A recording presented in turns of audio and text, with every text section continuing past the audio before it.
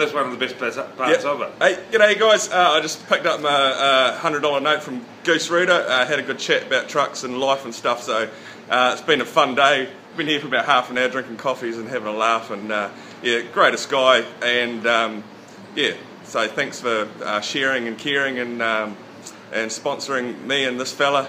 And uh, yeah, keep it real. See you later. Cheers. Cheers. Thank you.